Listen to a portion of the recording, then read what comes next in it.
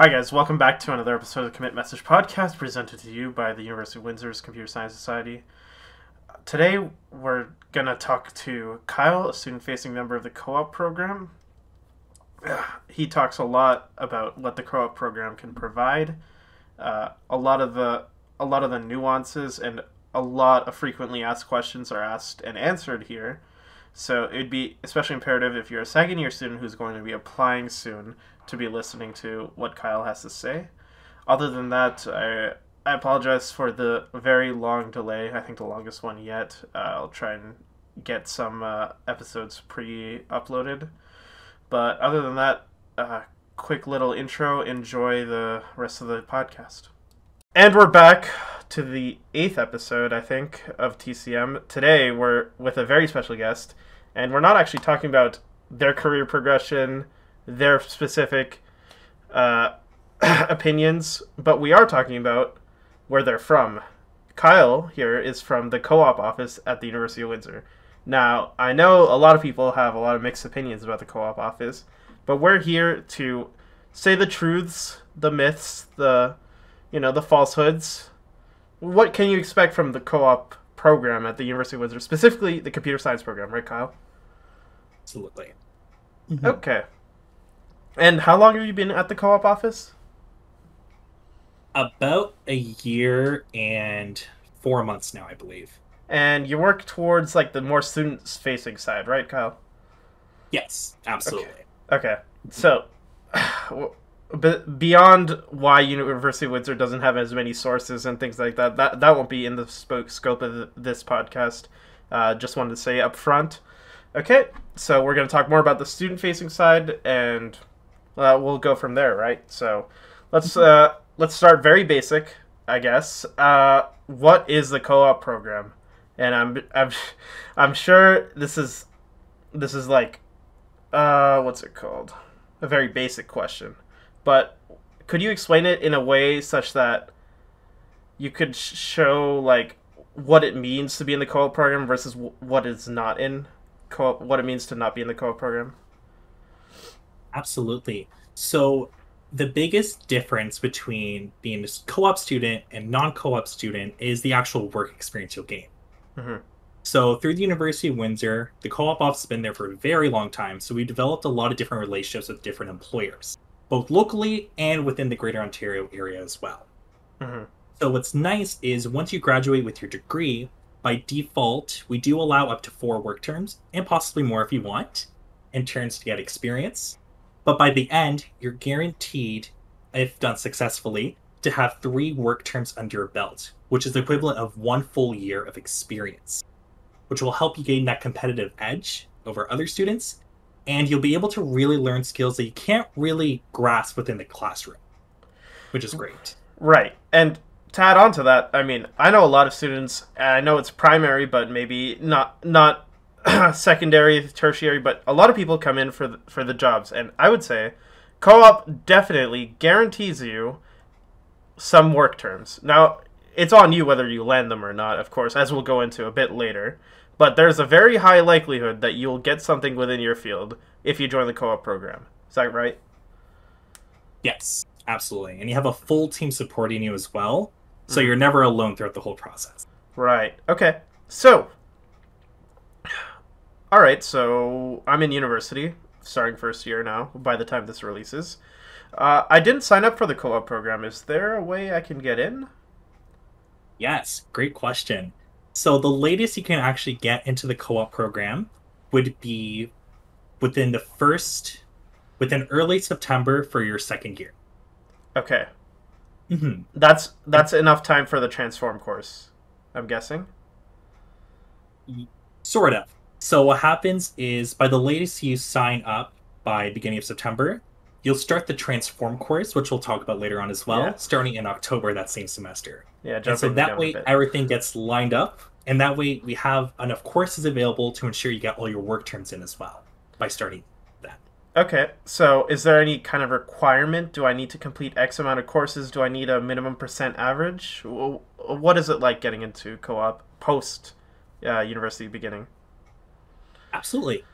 So, assuming you're entering as a second year student trying to get into the co op program. Usually by then, you would typically have eight to 10 courses completed by going through your first year. And in terms of admission averages, we look for a major average of 65% and above, and a minimum accumulative average of 60% or above with no more with no more than one mark below 50% on your transcript. You sound like you've been saying that a lot the way you've memorized those numbers. oh yeah, it's it's admission season, so we're starting to get, see them a lot. okay, so uh, before we move on, is there a difference between international and domestic students when it comes to getting into co-op? Great question. The one in terms of qualifications, academics are still the same. So okay. major average is 65% and a minimum of 60 for a cumulative average. But other than that, when we judge applications, we look at them more of a holistic perspective. So what's your work experience like? If you have any, your volunteer experience, extracurriculars, and your willingness to relocate if you want to as well, such okay. as if you find a job in the GTA area. Right. So the only real difference when it starts to come between domestic and international students starts to come when it comes to fees once you're in the program. Mm-hmm. So for domestic students, it's $455 per semester, up to eight semesters.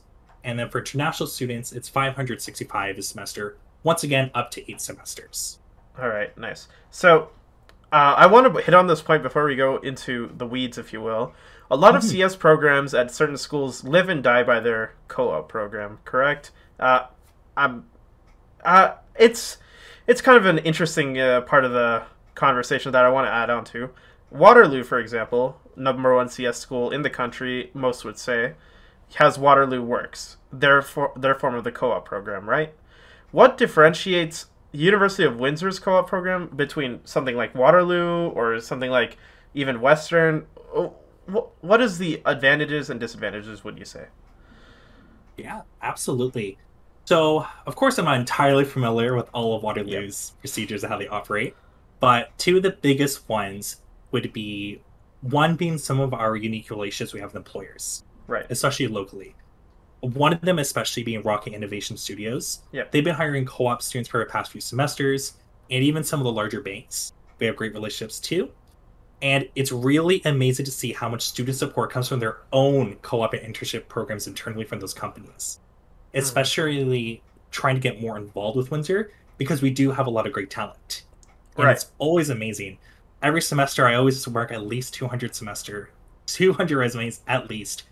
And to be honest, there's always that little bit of imposter syndrome when I start reading everyone's resumes because some of the stuff I read is really awesome and it's great. And I'm like, yeah, of course they would hire you after reading all this. So that's where our job comes in to make sure we help you market yourself better to make sure those skills really do get shown throughout a resume and throughout your other career readiness skills too. Right. There's another and, pull of co-op, yeah. right? Uh, they take you from zero to job, right? There, there is that information, right? Exactly, absolutely. And we don't expect you to have. You can come in with zero experience. That's perfectly fine, uh, especially when you are a first year or a second year student we of course we don't expect you to have like four months of like software engineering experience under your belt already. So even if you only have projects or volunteer experience, that's perfectly fine because we'll teach you how to market those in order to cater different job postings. Mm-hmm. Right. Okay. And especially with Windsor, there is a very unique thing with the University of Windsor. And although it's not directly tied to the co op office, its proximity to the United States, particularly Detroit, is very interesting because certain companies will have U.S. offices, or you can directly apply to Detroit offices coming out of university. If you have the co-op experience to back it up, a lot of people do do what what we all know, or like all your friends know, who go to who are in Windsor, right? They live in Windsor, go cross the border, work in Detroit, come home, and even now with like the boom of remote, like it's become like a a huge huge like trend, I guess especially in the Windsor area. So that's that's a reason I would also add on, even though it's not directly tied to co-op, it it is regional in that way, right? So mm. okay, so uh, I know I noticed you said uh, Windsor has great connections with regional and provincial. Uh, w- what can we expect from co-op program in terms of international, like help? Great question. So you touched a little bit on it already, where we do have some employers usually from a guided job search when a student yeah. finds a position on their own, where we review on a case by case basis on whether we can actually let them go into the United States to work. But one of our international players is actually in Germany as well. Right mm-hmm. now, hmm. they take a lot of engineering students, but I can't confirm anything yet since oh. I don't know myself yet. But there is a possibility of computer science positions opening up there too wow. with that same employer. And I know this has been in the works for a while as well, but there's also a position trying to be worked in where it relates to the iGo Global mm-hmm. aspect. I think I got that right. But that's specifically designed to look in more international placements. Because we do realize that a lot of our student base does have a lot of international students as well. So we want to open as many opportunities as possible and not close doors for them. Right. Okay. So, uh, before we go into exactly uh, your process as a student, let's talk a little bit more about your role so that we're crystal clear, right? What does your day to day look like? That is a very good question. A lot of my day to day stuff, I would say it's about 70% emails, helping students decipher between their work study sequences, answer questions on work terms, and then the other 30% would be more on handling administrative matters and making sure that students are set up for success earlier on. Mm-hmm. So, planning workshops, making sure we have relevant material. So, yep. computer science students really get a good advantage going to the job competition. And then marking different materials as well, such as resumes, cover letters, practicing interview skills, and even doing work term assessments where we speak one on one with students on their work term yep. to see how they're going and if there's anything we could do to help on our end. Okay. All right. So that's all the preliminary information I needed to hear, at least. So let's dive straight into it. All right. So students will notice that when they're in the co op program, the first year is actually completely identical to a normal non co op term, right? So mm-hmm. you'll have your first two semesters, radio silence, and then they'll come in at your third or let's say fall tw- fall of the next year. Mm-hmm. depends how, how you sequence it. And they'll say all right you have to do this thing called a transform course. And this course as far as i can tell is supposed to get you job ready. Now is this accurate? What, what are you trying to convey with this transform course? Yes absolutely. So our transform course is developed to give you the competitive edge needed to make sure your career readiness skills are set.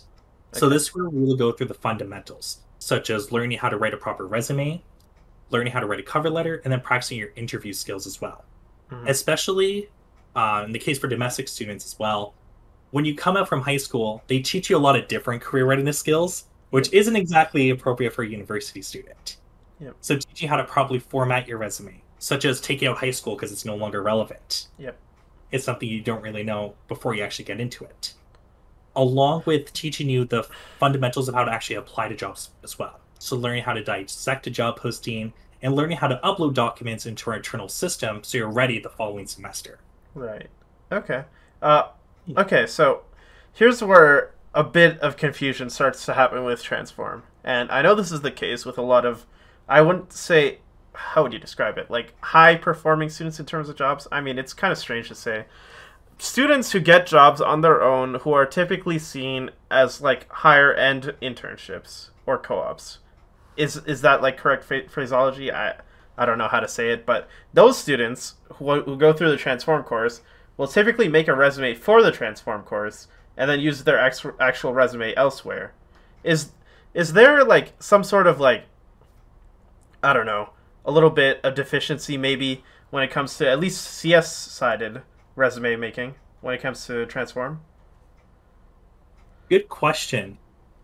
A lot of the times I see, especially when it comes to our, our Master of Applied Computing students, they'll use the same resume they used from Transform. Okay. Uh, specifically for undergrad CS, I can't give an exact number for that because I can't pinpoint it. But throughout the semester, I do see a lot of students who come to me asking for that extra advice, and mm-hmm. we go mm-hmm. through their resume. And a lot of the times, I do see their transform resume being used, okay. which is great. That being said, if you have a different resume outside of transform, because you find that the job posting doesn't really match what you wrote for transform, that's perfectly fine as well. Mm-hmm. As long as we're able to teach you the fundamentals of being able to cater a job posting to the skills required, or even teach you some of the fundamentals that shouldn't be on a resume as well, such yep, as using the word right. I, he, and she, and all of that. That's the greatest thing we want to bring across for it too. Right. Okay. And how about let's say in mock interviews because a few like of course it's hard to get an entire co-op office to be learn to train data structures and algorithm or like hard hard skills kind of interviews but how far does the mock interview kind of go?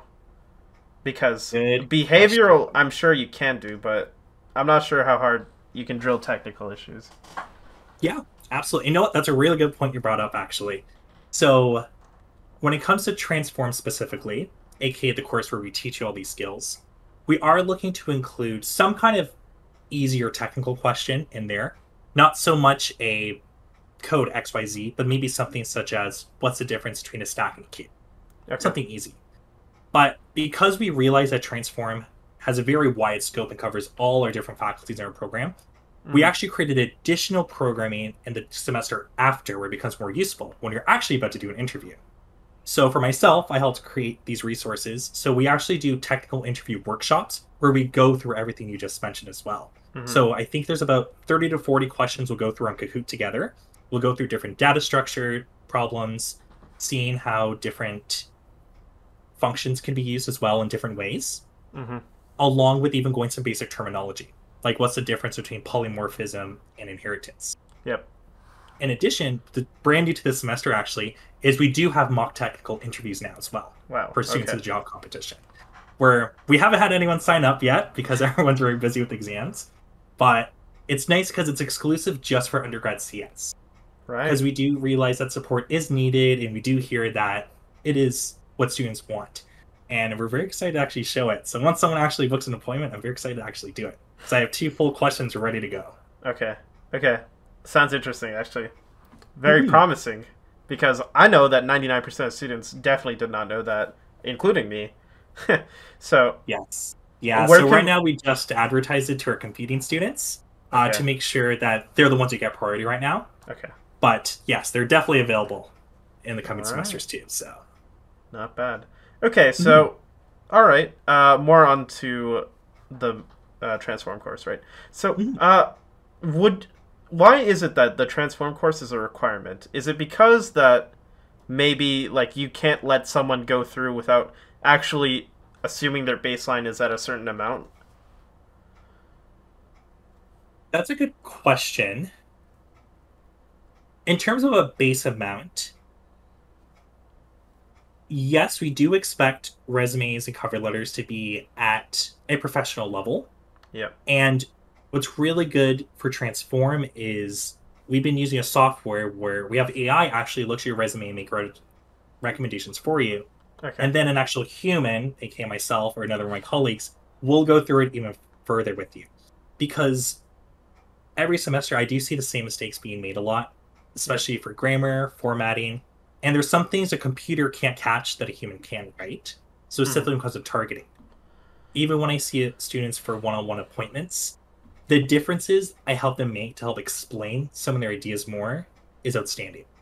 Right. I know a lot of times a student will probably put like a hackathon or a project on there, but when an employer reads it, it doesn't add any value to them because they're not expressing those skills. So by teaching them to include numbers, being very specific, or even applying that Google XYZ formula, we're showing what you achieved, measured by Y, and then bring it back to Z. Okay. So you're really creating those meaningful bullet points so an employer actually sees it as valuable. Okay. And in the typical co-op sequence, your second year summer is going to be your first work term. But as far as I know, while you're doing transform or even before then, co-op does not actually recommend or is this kind of old information? Does not recommend applying to positions while you're doing transform. That is correct. Okay. And we do know it is an issue and there are policies in place because it's a smaller part of a larger puzzle that goes okay. into it. But we do hear issues. Uh, for example, I know Amazon opened their summer internship positions, Yeah, but if you're in the fall semester, you can't apply yet in terms of co-op's rules, which I completely understand. Yep. Uh, the frustrations associated with it. And it's funny you mentioned that because I actually did have a conversation yesterday with some of our employee readiness coordinators to see, well, is there something we could do about this? Because we do see that students are trying to see, and we don't want to limit your you guys as all as well. Yep. Okay. Mm-hmm. But there's nothing stopping you from, you know, not saying anything to the co-op program, applying, and then when it comes to the term, say you did a guided job search, nothing really stopping you from doing that, right? Well, we do check things beforehand okay. as well. Usually the employer will reach out to us saying like, oh, can you confirm that they're a co-op student? Or most of the time, a student could ask they need an enrollment letter asking for okay. co-op. So if you're not applying to jobs during a certain job competition or assigned term, then we wouldn't be able to provide that confirmation needed for the employer. And thus it could put you backwards. And that has well. and that nightmare scenario has happened before. Uh, so there you have it. Don't try and sneak around co-op too much. Uh, no, I would say not at all. okay. Yeah. All right. So that being said, too, um, we do we do understand the frustrations when there's a really good opportunity, but you can't apply yet because it's your semester. We understand, but there's so many jobs offered through co-op as well. When when it is time for your assigned job competition semester, there's possibilities that you don't even know existed. Because okay. I know a lot of people like to go for FANG companies, right? And they do their hiring practices a little differently. Yep. But in the terms of co-op, we're really trying to help you get those fundamental skills through those early placements early in your career to set you up for FANG post graduation as well. Right. Okay. So, uh, w- uh, you quickly breezed over something, but I forgot to make it mm-hmm. crystal clear. When an employee checks if you're a co-op student, that means they're actually looking for a sort of benefit, right? Because you're actually incentivized as an employer to take a co-op student, right? If yes, I... depending on the employer. Yeah. I know I don't paraphrase me on this one, but I do believe tax incentives are a benefit from hiring co-op students, mm-hmm. at least in Ontario, I think. But most of the time, too, is in their job postings, they'll specifically say they have to be returning to full-time studies next semester. yep And usually, with being a co-op program, our sequence is already lined up that way, so we can basically confirm that yes, they will be returning full-time. Yeah. Okay. Mm-hmm. All right. And uh, yeah, that confirms most of the the the suspicions we had around uh, transform. Uh, is after you're done the one transform, you're just gonna assume we're done for life, right? Uh, you're ne- you're never ever gonna have a second transform, so that's about that's about mm-hmm. as far as your education goes in terms of uh, co-op, right?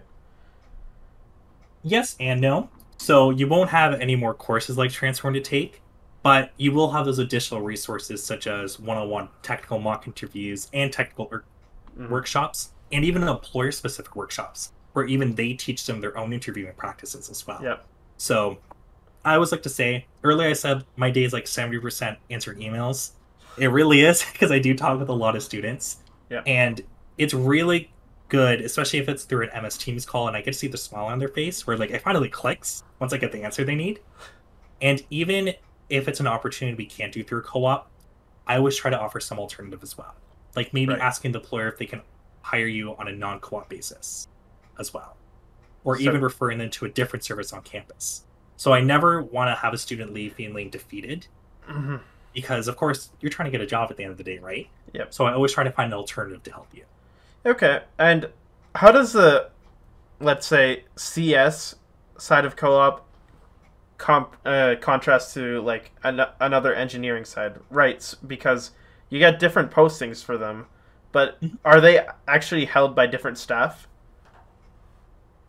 good question so when it comes to different postings like that there's a lot of overlap so okay. our employee readiness coordinators specifically for undergrad cs they would be bill and jeff currently and they help maintain most of the CS job postings that come in. Mm-hmm. But they'll also operate under certain verticals as well. So maybe some are just focused on tech, some are focused on banking, and right. others would be focused on, let's say, government and nonprofit. Yep. So all the areas have a little taste of it too. But I guess a better answer to be would be as a whole, they all work to create job development opportunities. Because even if they're hiring for a business position, well, maybe they can tap in for engineering or computer science positions at the same Yeah. time as well. Mm-hmm. Okay, so, all right, we've gone through transform. So we're on to the fourth semester. Typically, your first ever job competition. What do you recommend? What do you not recommend? What are common misconceptions? Give me it all. Great question. All right. So I always like to say first and foremost, don't try to compare yourself to others because it can be very easy to fall in the trap thinking that you're not good enough if you see everyone else getting a job early on. And then here you are, oh no, summer's almost coming. I'm panicking. What do I do? Job opportunities will always be available throughout the semester. And I even like to say, too, if you're still competing later on, that actually works in your favor because now there's less competition to deal with as well. Yep. When it comes to creating resumes as well, I always like to say create targeted resumes as much as you can and apply to as many different opportunities that you're genuinely interested in as well. Because the last thing you want would be to apply to something just for the sake of getting a job and you end up hating it. Yep. hmm And in terms of timing, I always say try to apply as much as you can earlier on because as the semester goes, especially after Reading Week, you're going to be busy with midterms, exams, and different assignments. Yep. So try not to stress yourself out too much by having co-op on top of it all too. Yeah. And if you really are struggling, that's okay. That's where our office is, specifically me, where I'm here to help as well. Yeah. Like I said, the amount of students I see in a week is I almost said insane, but that's not the right term to use. But it's always nice to see students coming in. Okay. Know that they have that support there. Are you guys in the office or are you still like in from home? Oh, what's the? Yep. So we're in office. Uh, some of us have work from home days, But our office is always available, and we have drop-in hours from 1 p.m. to 3 p.m. Okay. Okay. Mhm. all right. So, uh, all right. So I'm a student applying in winter. Nothing's going right for me.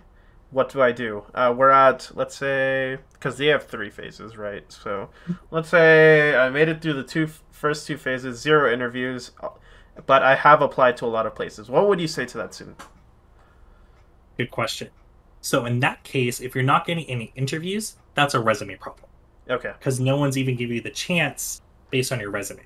Okay. So the biggest thing that always comes from it is an employer generally spends about seven seconds reading a resume. Yep. So what I do with the student, I literally go with them one by one. We'll first create a profile of skills at the very top. Yep. Because if they're only spending seven seconds reading a resume, then likely what they grade at the top is going to be very important. So if we could create three to four bullet points that are directly related to the job and shows that you would accomplish something with it too, that's a big bonus Okay. and then helping them format their experience as well. I know a very common thing I see is someone will have really good experience, but they'll put it on the bottom.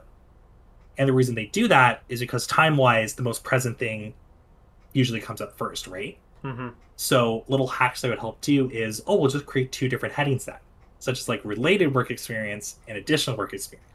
Yeah. It's a Mm-hmm. cool way of thinking about it. Okay. Right. So, uh, after the first two phases, uh, it's pretty actually funny how how it's like how uh, it's phrased, but like I, I remember reading the email once. Like it kind of feels like co-op's like, all right, I can't trust you guys for shit. So in phase three, we're just gonna apply for you guys. Uh, what happens there? Because I've always wondered, like, where are they applying that we haven't already applied? You know? Good question. So first to clarify, we don't think of you that Yeah, way. I know. So honestly, the biggest reason we do that is because we realize once it's April, you're in exam mode, right? yeah, So you don't have time to apply to jobs. So that's where we take some of the burden off so you can focus on your exams. yep. And like I said, I know it can feel really easy to think it's like I didn't get anything around one or two. Obviously, maybe I'm not made for computer science. Maybe I should just drop out. No. Mhm. Even throughout the past month in August, I've been seeing so many students get placed left and right. Um, some opportunities at the university. Sometimes Yeah. it's just employers that are just really late to it and they haven't done anything yet. And they're like, oh no, like, can we still hire someone? And I know there's some specific names. I don't want to say them out loud, but some specific undergrad CS students I've seen, and I've seen them maybe struggle in February, and now they finally found something. Okay. Or sorry, not February, in June, and now in August they found something. Wow. Which is great. Mm-hmm. Wow. Yeah, which is always a good feeling because I think a good mantra through our office is we can always go to sleep well every night if everyone gets placed. So even knowing that there's a few students that haven't been placed yet, it's amazing to see how the ARs really find different opportunities out there. And then even on my side where it's more student facing side, you wouldn't have seen this, but we start to started to send almost insider emails, which gives tips on what you can do for your resumes, such as adding MERN stack projects, because Yep. those would be really beneficial Right. and then even offering different jobs you haven't even considered yet, or even different sites you haven't even explored yet. Yeah. So really giving that push to make sure students don't feel defeated, because we understand it could be very easy to fall under there, but really giving them as many resources as we can. Man, I wish I had you during my first uh, co-op term. There was no one front facing like you right now, or back then, I guess. So, anyways, uh, continuing on, and Hmm. stuff will only get better from here, right? Because, of course, you're making Oh, these improvements absolutely. with with intentions to get better than before, right? So, okay, Yeah. so.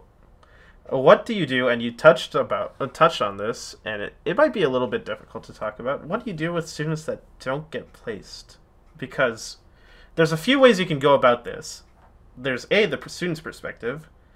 Well, I, I, I attempt. Well, it's usually not true, but they'll they'll think in their head, a I, I did everything co-op asked of me, th- or at least what they think they did, and then I applied, and they're still taking fees, but I don't have a job. And then there's a co-op angle, which is, well, we tried our hardest. Our our things were open. This person was either a very unlucky, or b uh, just didn't do X, Y, and Z. We're still gonna take the money for the services we charge. What is the what is the thought process going on there? How do you deal with that? That's good. Well, firstly, I like to say I wish we didn't have to charge any fees at all to begin with, because we understand it, it is an expense, right? Yep. So, and usually what happens a lot, and it's really a simple solution actually, is if they don't get placed one semester, I'll literally sit with the student. We'll go one by one. Re- especially recently, I've been helping them just switch their work studies sequence around. So, Oh. oh, if they didn't get placed this semester, no worries, we'll have you compete again next semester. And I'll help them set up their courses as well. So that way, that's a less worry for them as well.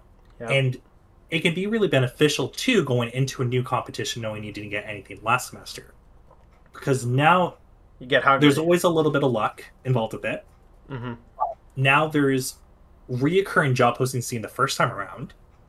They're like, oh, I know this resume didn't work the first time. Let me try with this one now. So Yeah. you can update resumes from there. And there's always new opportunities coming into, especially when students do co- complete a guided job search. So that's when they find opportunities on their own. If they build a good reputation, they'll continue to hire university students in the future as well, right? hmm So there's opportunities that didn't exist in the previous semester that might be more suitable for your skills now. And I always like to say too, once you're another semester in, that's another semester worth of skills you have to your resume now. Another Yep. group project you could show. Maybe it's another hackathon you went to. Or maybe it's even some like extracurriculars or volunteer experience you did Uh-huh. as well, which is great.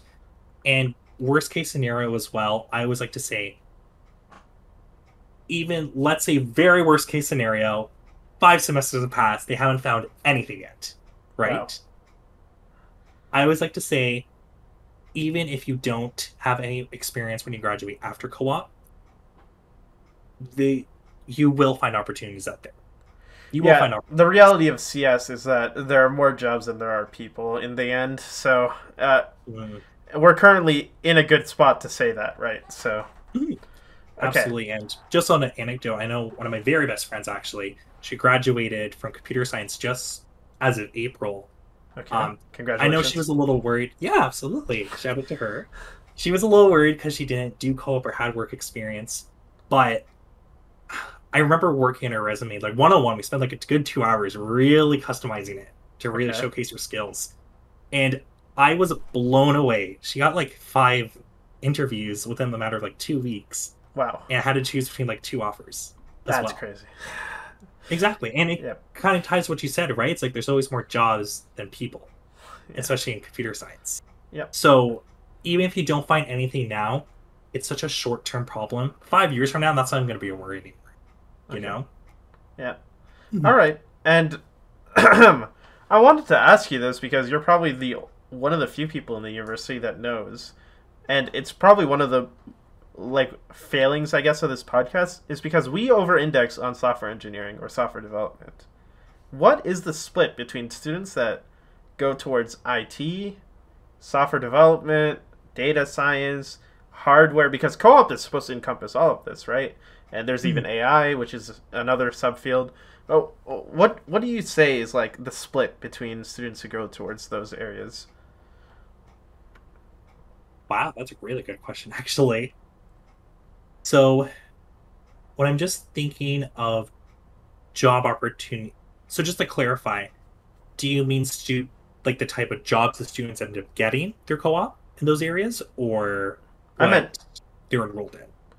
Uh, the ones that end up getting the offer. So like the of the ones you talk about, uh, or it could even mean, let's say, there's there's two ways you can go about this: where they want to go and where they end up going. Right? Let's say, okay, Mhm. let's go where they want to go. From all the ones you've talked to, let, let's not try and encompass everyone. From Mhm. all the ones you've talked to, whose ambitions lie towards software development? Like 60%, 40%? What would, what would you say? I would say ambition wise about 90% of students that I've spoken to want to find like a software engineering role. Okay, That's their number one they want to go for when going to co-op. okay. Uh, do people want to like straight up software development or like something like AI, something like game dev? Like, oh, oh what, what would you say most people are t- going towards? Good question. Based on our job postings, it tends to go more towards general software development. Not many game dev roles, Yeah. at least I can remember from the top of my head, are offered. And when I do have conversations with students, I think throughout the past two years, I think I've had two or three students specifically mention game dev Okay. with it. Uh, of course, I can't remember if they actually got game dev roles in the end, Yeah. but a lot of the time, students say they just want to go into software engineering. And a lot of the times, I'll literally hear is like, I don't care what I'm doing there, as long as I'm doing some kind of coding, Yep. and Yeah. which is fair, right? Especially for your first experience, it's almost like you can't afford to be that picky. Okay, Right. and all right, which is which leads us into the next big issue. I see a lot of people running into. A lot of these uh, these students they want to get into software development, me included, and this pertains to me and so a lot of my friends too. They try and get into software development. However, they get handed with the IT role, or they get handed with some role they didn't want and they perceive as lower. Or I guess that's as straight up as I can be, right? Uh, th- this happens all the time, and what would you say to that kind of student? Yeah, I would absolutely say that, especially this happens a lot when it comes to your first work Yeah. placement, right? Absolutely. And I always like to say, not to use it as a stepping stone, but just know now when you're going to future job competitions, you have this IT experience and a more professional reference to back you up Yes. as well. Also, And your we- company definitely mhm. has software developers. Exactly. 100%. And now you're developing that network of references that you didn't have beforehand, right? Yep. So even if you do go for an IT role at, I don't know, let's say, I think the CRA does IT roles. Yep. Well, now you just access a network within the government Yep. of all places too, where Yeah. you can now possibly have software development roles. Yep. And even even think about positions post graduation as well, right? Yep. It's maybe they don't offer specific software development roles for co-op, but since someone knows you well there and they've seen your work ethic, well, now when you go for postgraduate opportunities, you don't have to worry about applying to like a hundred different jobs. You can just maybe just go to one person because now you establish a network with Okay. it. All right. So, And oh yeah, oh, go ahead. Go ahead. Yeah, one last thing. I always find this a little funny when I talk to students as well. Is yes, they were expecting to go into software engineering, Yes. But a lot of the time, especially when they go into like a database or let's say an IT Yeah. role, they end up loving it a lot Yeah. because especially when I find especially for IT roles, is they usually have really great work cultures. Oh yeah. hmm Oh, And- oh yeah. They say that coming to work is almost fun because of it. Yep. Uh, specifically, I know when I meet with students, especially from the University of Windsor's IT department, they do a great job with it. They always like to have fun on the job. And I can even tell too, even when I'm like walking by, I'll see like two students walking down Wyandotte with lunch together. And I'm like, oh, I know you guys. You guys are from IT. And you could tell like they're smiling, they're enjoying the work they're doing. Of course, you're having to deal with problems to solve, right? Yep. but it's always exposing yourself to those different industries as well because you may have been 100% going into software development but you may end up loving IT in the end because it might be working better for you Yeah. And Mhm. you know what? Like whether you want to go on beyond whatever you've landed, if you think it's a lesser role, it probably isn't. There's someone who has it worse. There's always someone who's a bit unluckier. Uh, there's definitely worse places to be than in a lower job if you if you'll say say it like that. But yeah, You know uh, there's people who wish they could be in your role yes, as well right? Yeah, that's so yeah of course we're not lowering IT of course there's so many great opportunities with the field of IT as well. I know some students that I spoke with as well while I was still a CS student they ended up loving IT a lot more than software engineering as well. Mhm. so it really depends on what kind of work you want to do right for it and that's a great benefit of co-op being able Yep. to experiment within all these different fields see what you like and what you don't like Uh-huh. Okay, and uh, all right. So my next question has to do with uh, slightly controversial before, but now co-op kind of covers it, called the guided job search, and we've skimmed over this in the past. It's no secret that if you want, if you want the big and the glamour, you have to do it by yourself, right? How does co-op uh, help you in this endeavor? Good question. So, I guess I'll redefine a few bits of the Okay, question too. That's fair.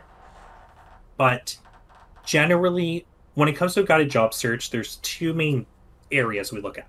Okay. One is if you're applying to a role within Windsor, Essex, or Chatham, Kent, Okay. we always say come to us first because it's likely we have a relationship with that employee already.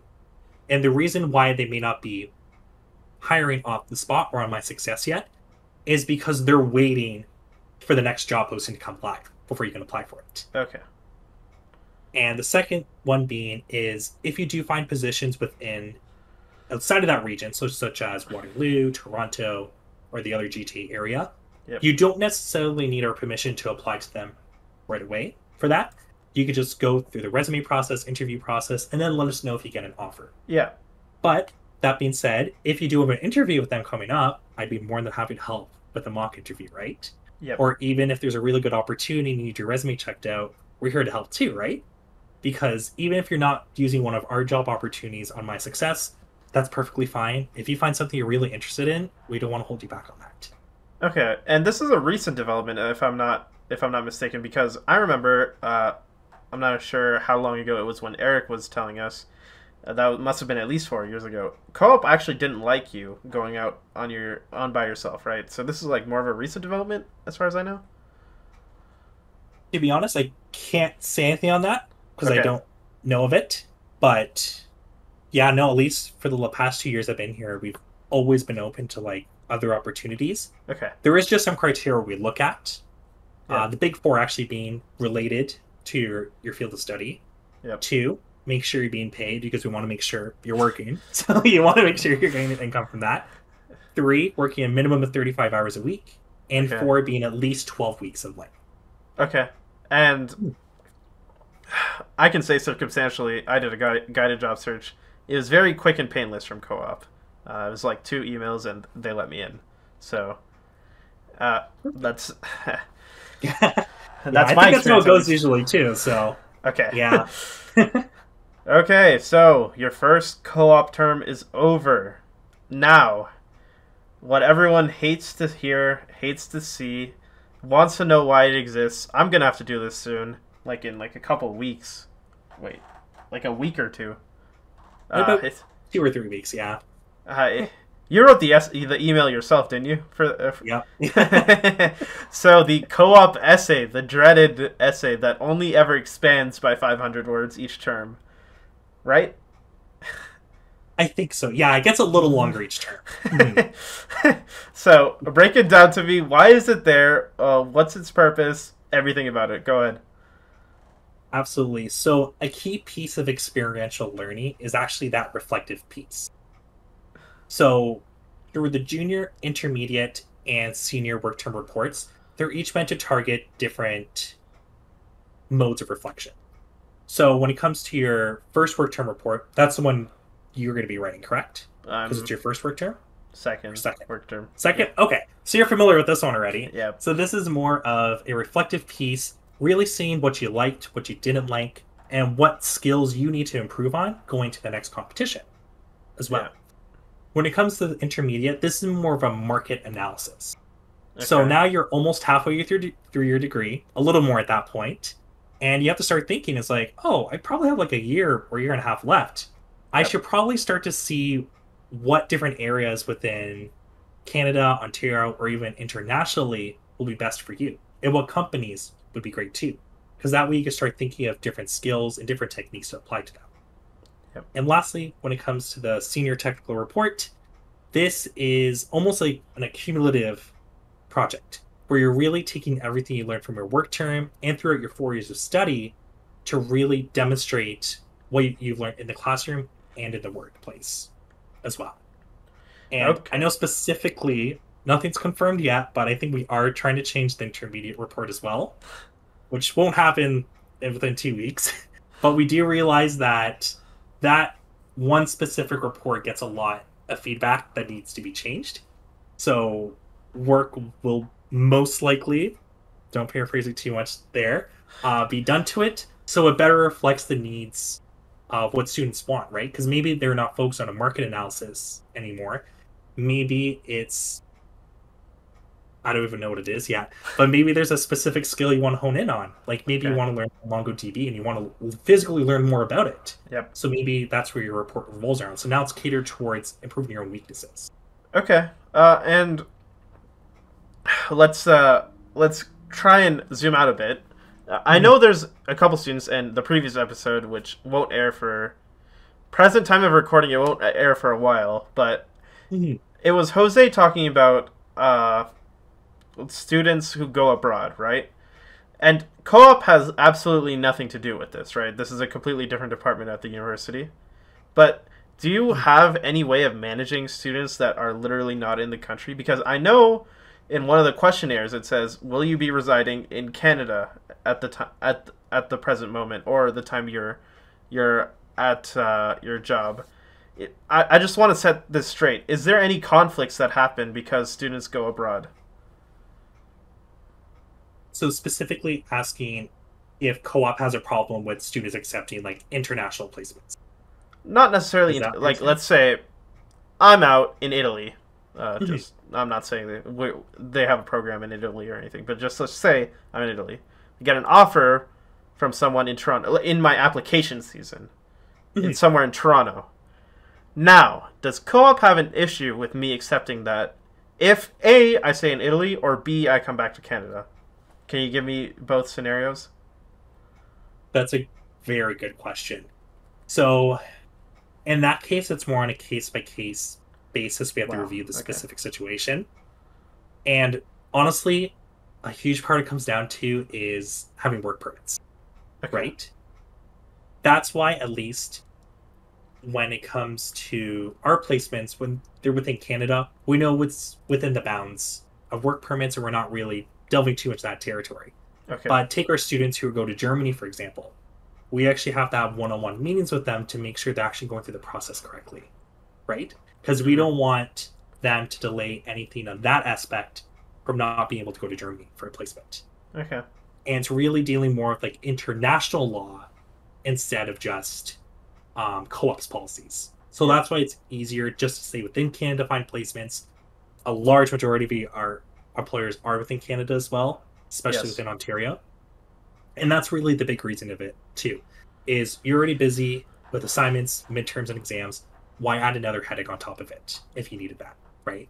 Right. Yep, that's mm-hmm. fair. And okay, so let, let's take a pause on uh, you know the whole international aspect of this. Uh, let's mm-hmm. rewind a bit, actually.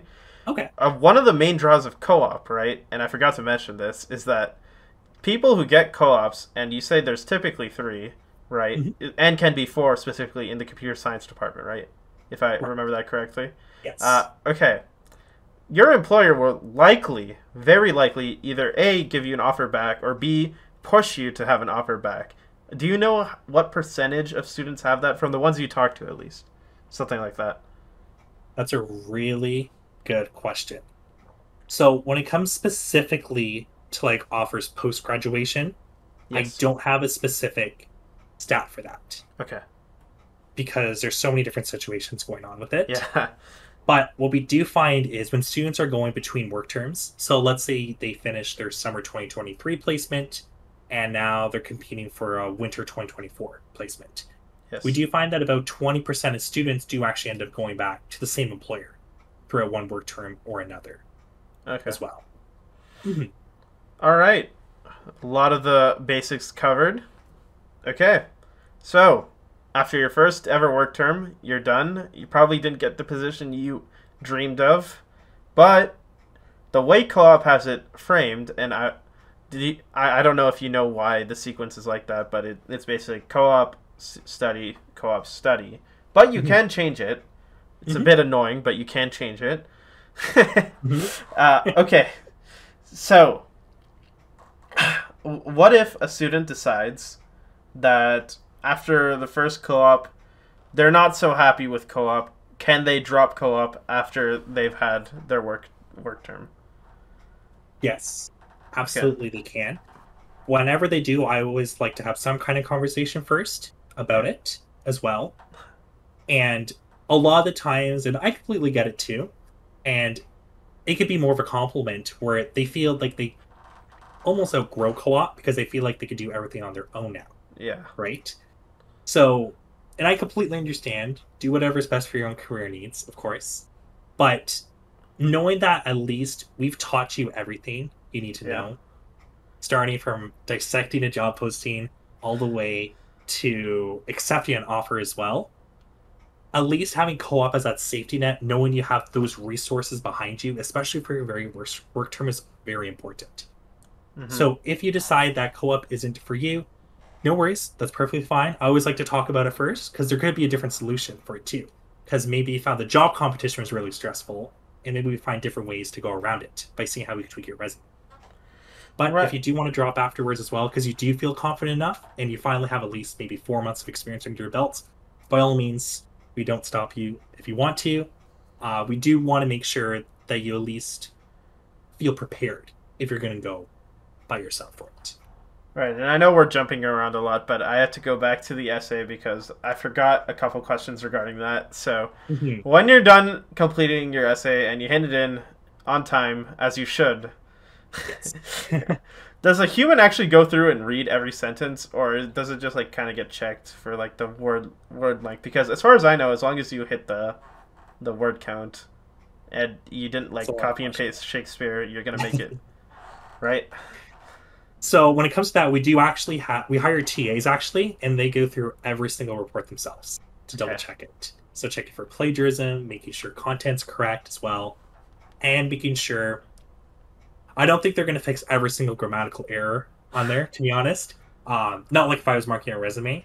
You are you're like trying to check CS students' grammar, by the way. So yeah, yeah, because you know it's a professional report, right?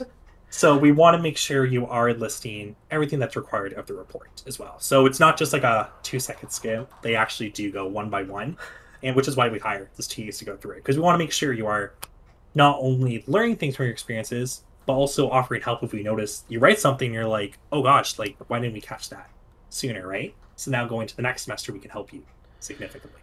Right. Okay. And there are different roles within the co-op office, right? So if I'm having issues, I can go to X, Y, and Z, but mm-hmm. in within the office, there's like a secretary. There's people who source stuff. There's people who face the students. What is the structure of the co-op office? Excellent question. So we have about I would like to say four different groups. So we have our administrative team. So those are the person or the people you see at front desk, and they help a lot more like the administrative tasks, such as uploading job postings in My Success, helping apply to resumes or job postings during round three, and helping to make sure that a, a lot more on the employer side of things, and helping with some of our assignments, such as sending out final evaluations, for example. Uh, the second group is comes in my group, so we're the more the student-facing team. So these are your WIL coordinators, and we're here to help answer all of your really more like the academic stuff and everything Yes. before you actually get the job and during the actual job term. So this comes work study sequence changes. I become very familiar with the curriculum now, helping so many students Yes. with it. Uh, specifically, resume help if needed, cover letter help, mock interviews. Basically, anything that you need help from in co-op Yes. usually would come from a mobile coordinator because we're the student-facing side. yes. Now, the opposite to us would be our ERs, our employee readiness coord- or employee relations coordinators, Yes. and they're the ones responsible for job development. So, maintaining relations with our employers, making sure that job postings are ready for each Okay. week coming up, and also trying to see help with the resumes, cover letters, interviews as well, but not as a great of an aspect because they're mainly focused on job development. But Okay. they're just as highly scaled, and even better, if you're ever wanting, let's say, an interview at TD, then an ER would probably be the one to go to to ask, hey, what are their interviews like? Yeah. right? Because they have direct relations with the employer. And then our last group would be your transform team. So this is their team that you usually interact with during your first semester or second year, and they help you go through all those basics, Okay. as we spoke before. All right. And okay, so let's say I just lost the question. Uh, all right. So, oh, right. Okay. So, common misconceptions. I wanted to get on this. So, uh, I'm a student, and I've gone to Hiram Walker. I think is one is one that is posted, right? I go Mhm. there and I do a real stinking job. I'm pretty poor. I don't come in on time. Does this reflect badly on the co-op? What does this? What does a student like, kind of messing up, or not really messing up? They're kind of like tarnishing their own their own like reliability, right? Does it reflect back into the co-op? What happens to employee? What happens to like the relationship? Has it ever happened that an employee just like was like, nah, I don't want to be with University of Windsor anymore? Because I hear a lot of things like that happening, but I'm not actually sure if that that's real. Well, I could definitely clarify that rumor for you then. We don't hear a lot of stories about that, which is good. Yes. Now, for specific employers, I can't really say anything because once again, I'm on the student facing side. yes. But I will admit, yeah, it could have hurt the reputation, right? Okay. Because apart from relationship building, is making sure that you want to make sure you do have students who are performing well every semester, right? hmm And especially from our co op side of things, if we do see that a student is struggling, for example, Yes. we always want to make sure that we're there for them. Attesting Yes. more for them than the employer, right? Because we want to make sure they're successful at the end of the day. So even if you had a rocky start, maybe it's a quick conversation, seeing that why is this happening, and then maybe finding the proper resources needed to resolve those to make sure that you are meeting employer expectations. Right. Okay. So it can kind of reflect badly on the university, but almost no students are incentivized to do that because they want a job, and you know, co-op wants to stamp their seal of approval on as many students as possible. Is there a way to like without like kind of get booted out of the co-op program? By the way, I- I've always been like, is there like a grade requirement? I've never actually looked at this. Yeah, good question. So the nice thing about co-op courses on transcripts is you don't get a numerical value. It's either a pass or not pass. Yes. And what we look for is for four key pieces of information. So one, we want to make sure that you update your work your work term record to make sure it has your actual supervisor's information on there. Two, we'll do a midpoint check-in just to check in and see things are going. So we'll speak with your employer first and then usually the student right after. And honestly, one of my favorite parts about that is the employer has nothing but positive to say a lot of the time sure there's areas of improvement, but you're one month in, it's going to happen, right? Yes. And I get to share that feedback to the student right after because a lot of times you may not hear it right away, right? Yeah. So especially if you're one month in, and you feel like, oh, you know, I'm not doing a great job. Like maybe I'm gonna get fired. No, no, no, no, no, no. That's far from what's gonna happen. What's mostly happening is you are doing a great job. And it's just a learning curve you're going through, right? Yes, I felt that too. Mm-hmm. and that's good. Well, not good, I want to say, but it happens with like any job, right? It's human. Exactly. and then the other two key pieces we look at is a final evaluation from your employer. So you have to reach at least a satisfactory level in order yes. to pass your work term, so your overall performance. And then, of course, as we spoke before, the work term reports. So you have to successfully pass that as well. Yep. Okay. Mm-hmm. Lots of information there. Yeah. All right. So Absolutely. when I graduate, and this will be towards the end of my line of questioning. Sorry. Sounds no, like you're, you're locked in a room with me and I'm like, give me your answers. you know uh, what? To be honest, I didn't get that at all from this. Okay. So you're good. Okay. It just felt more like a conversation, so you're fine. okay, when I graduate, what will it say on my degree? What do you say? If I completed three or four work terms successfully and handed in my my essay. Okay, good question. So literally on your degree, you'll have cooperative education on your degree title. Mm-hmm. But what's more important is how you market that on your resume to talk about yes. what you do with your work terms. Yes. That's where the true value comes. Because even, let's say, as we said earlier, where maybe a student wants to drop out of co op after their first work term or second work term, once again, sure, you may not have co op on your degree, but you have those work terms for life on your resume. Yes. So you can leverage that a lot more than just a few letters on your de- degree, right? Just having the word cooperative education. See, what, what I was trying to do yeah. was like, you know, I was just gonna have you answer it straight up, like, not much on your degree, and then we go past that, right? And with mm-hmm. the implication that like you know you can kind of drop it whenever you want, but like keep it like low key. But you know if you're gonna say it yourself, then be my guest, I guess. yeah, no, absolutely. Even if you only get like one work term out of it, and you feel like you just do all the rest on your own, I would much rather see that. Wow. If because that way that tells me that you've developed the confidence to apply everything you've learned. You're not only transform your work and your school courses to be able to do this on your own now. Okay. Because I uh, understand uh, too, like there are some things you have to worry about, like writing a report at the end, right? It's like, oh, one less worry, right, for your work okay. term. So mm-hmm. there is a weird rule I've seen, and I'd okay. want, I'd like you to clarify it.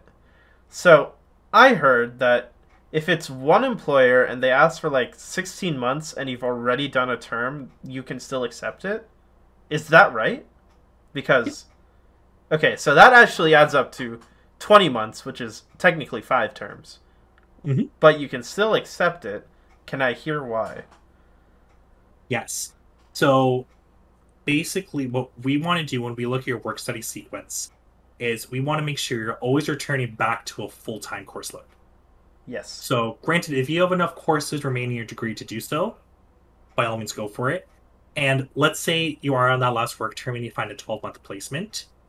We don't want to say no to a great opportunity, right? So, yeah. of course, we'll let you go for it, right? Uh, I know there's even one student. I think he's, I think he's at IBM, and this is his final work term. But he's going to end up having like five work terms at the end of his co I think I know that student. oh, you think you do? Yeah. and like I said too, with doing work term assessments, so midpoint check-ins, and even looking at final evaluations, it ended up great for the student, right? So once again, we don't want to put an obstacle in your way that could be a great opportunity. So the less of we can do that to make sure that your experience is better, then I don't see why not, right? As long as it right. works with your core sequencing, you're going to graduate at like a reasonable time still, even if the delay by a few. Just never graduate. You're gonna be 36, and you're like, okay, you're your 25th work term. but I mean, hmm. theoretically, you could. I mean, you have to be in a full time workload, so eh, you can't actually theoretically, but you can hmm. extend it at least a year, from what I can tell.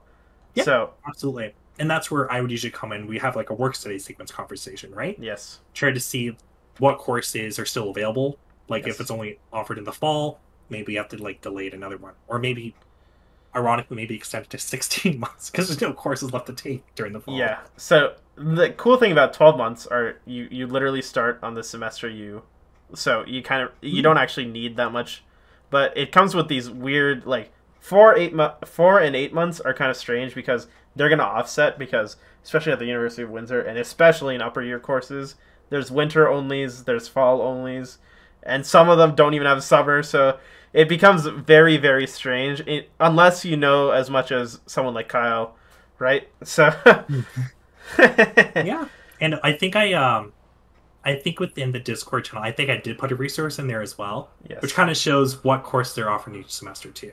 And I know the CSS site does a great job with that too. As I know sometimes I speak with students, they'll directly say out of their mouth is like, "Oh, I use the CSS site to determine when course they're available." So it's a great resource that you guys prepared too.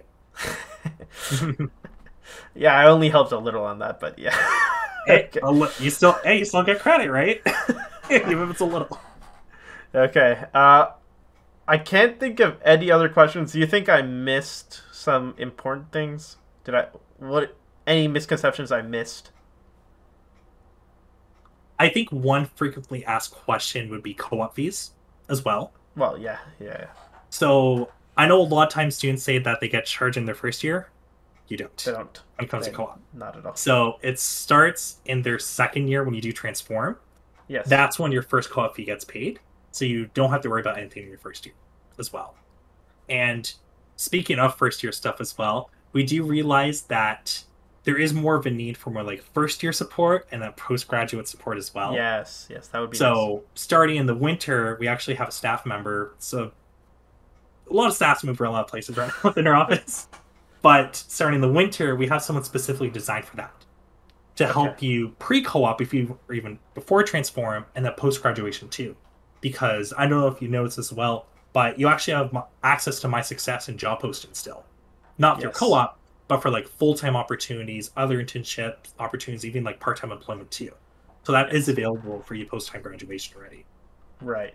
And I mean, before we say anything further, I, I want if you leave this this podcast without anything learned, can, at least one thing can be remembered. The more co-ops you have, even if it's just one, the app like it's astronomically different than if you had zero versus one versus two. You want at least some form of co-op, whether it's from the office or not.